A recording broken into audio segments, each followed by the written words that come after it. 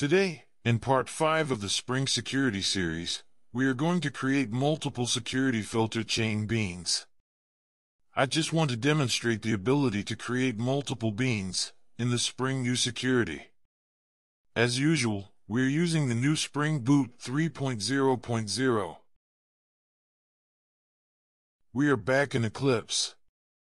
Today we are going to work only in the Security Configuration class to split the security filter chain beans into different parts. There are two important conditions. Each bean must have a unique name, and you must specify the order. The first bean is order 100, and is only used for requests with path, user. The path we configure with security matchers, this is new since Spring Security 6. The second security filter chain bean is order 101 and is used for the admin path.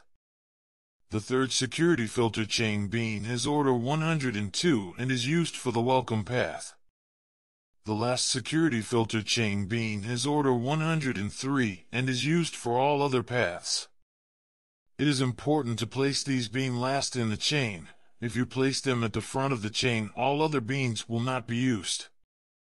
This is a simple example to show that it is possible to use multiple security filter chain beans. We can now start the project and test it in the browser. After we start the project, we can test the various paths. First the welcome, as you can see there are no problems. Then the user path, here we need to log in. We use the admin login. Back everything works fine. Then the admin path. Again there are no problems.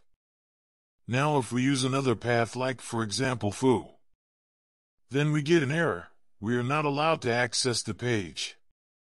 So that was it for today. See you in the next videos. Thank you. Like, comment, share, and subscribe.